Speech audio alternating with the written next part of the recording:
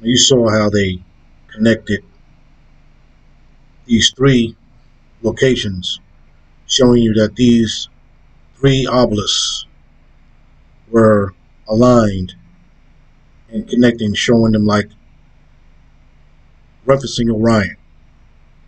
Went into Grand Central Station and showed the Orion, the reverse on the ceiling, just like I mentioned how the Orion and the constellations on the millennium floor. Just the opposite. People walk through oblivious to what it is. As I mentioned, it was a Stargate showing the three posts, showing the sunrise, high noon, sunset, and the sun disk itself.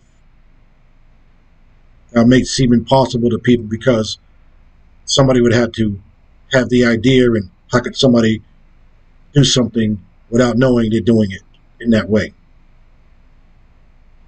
Well, it doesn't make a difference, but it is. That's what it shows. So as you can see here, I marked off these locations, different locations. So I said I grew up New York, Long Island, Commander Avenue, and how all this was connected to me going back to New York, 1996 and then 2014, when I went to go see the obelisk here and said I was connected to it then, before this here. So now that I mentioned all the things while I was there about the Orion, Washington, D.C., Commander Avenue, Stargate. Now I'll show you here.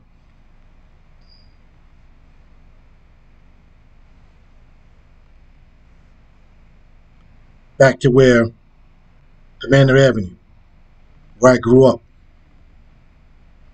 I lived in a White House. Here. This was my bedroom. The dormer. Which I can show you these dormers here on the SunTrust. They just sit like they're decorations. But I know why they're sitting there. They're not air vents.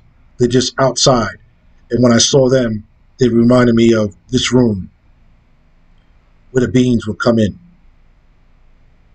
They looked like x-rays. They didn't look like solid beings. They were x-ray.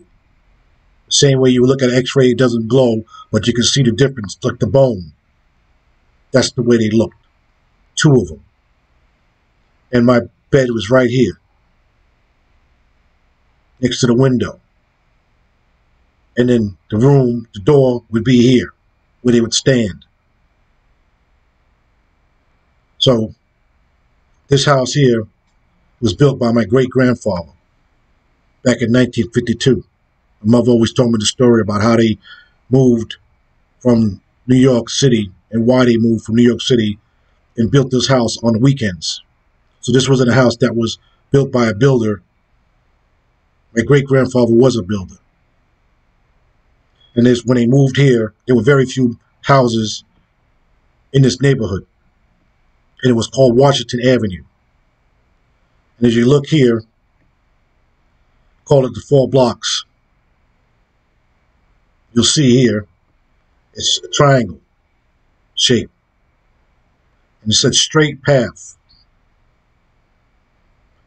And over here is called Five Corners, like five stars. This is a graveyard here that always had woods.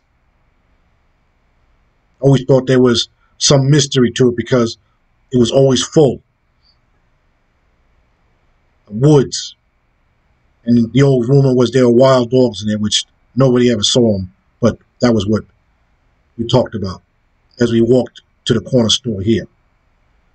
So here you can see that the house, White House, Commander Avenue, called Washington Avenue before. All the other streets, Gordon Avenue, Matthews Avenue, Hamlin Avenue, names. This one's the only one named that was changed from Washington Avenue to Commander Avenue. But you can go from Washington to Commander as being the same. Washington, D.C., with Commander in Chief, Commander itself. And my mother told me and my aunt told me that when they came here one day, the name was changed, the street numbers are off, were changed from what they were left the house with that day. They thought they were on the wrong street. They were never notified that they were changing the street. And so that answered one of the mysteries when I was talking about this area and how this was connected. And like I said, when I went to New York and I went to the obelisk and I knew that I was connected going back to my childhood. That this is West Babylon. And talked about King Tut, Moses. This is dealing with Tutmosis III. And this is what happened here. This was the connection. So now I show you, if I show you here, the connection by drawing a line from each one. That's one line from Central Park. That's another line from the Worth. Now we back up, come down here. We'll see that the lines itself, which this one here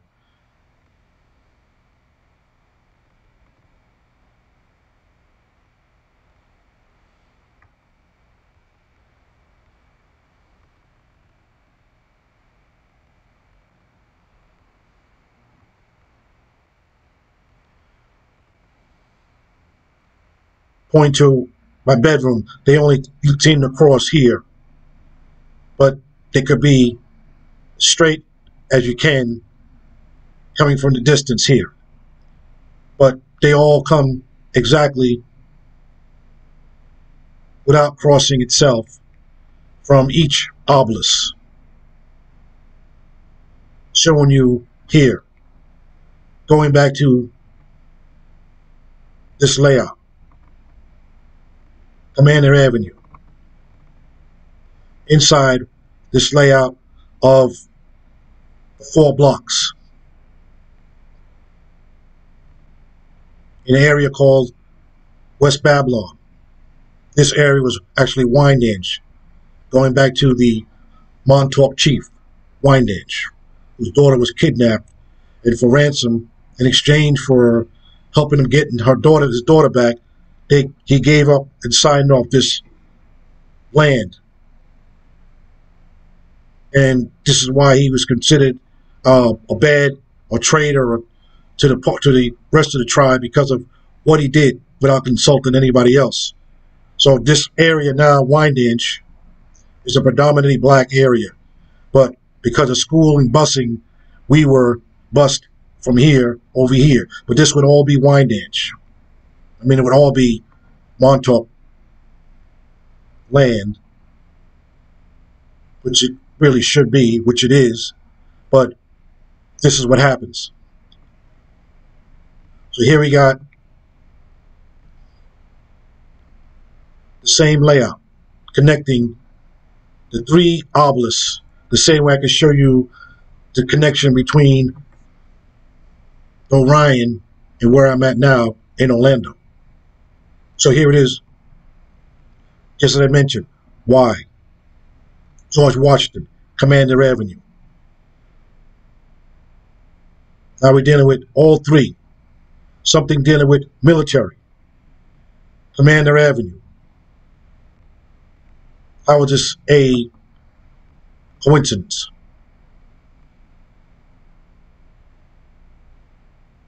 It's not over here. It's not over here. It's not back here. It's not anywhere else but right here, where the center one comes exactly. But here it is again. I can connect the obelisk from Central Park to here. And like I said, I used to go to West 90th here, come through here.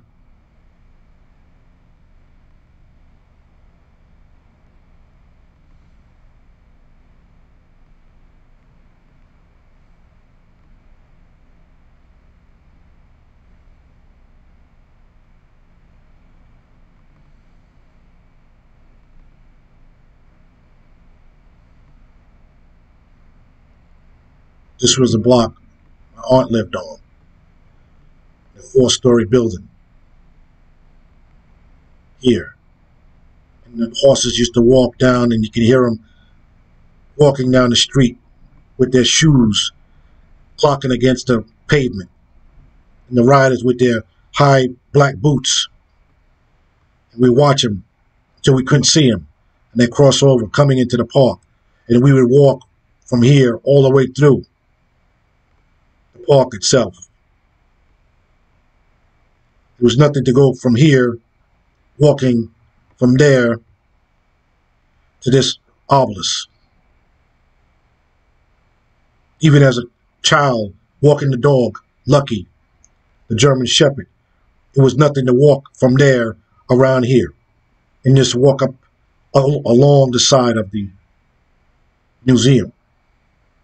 In our school, we used to come here for field trips.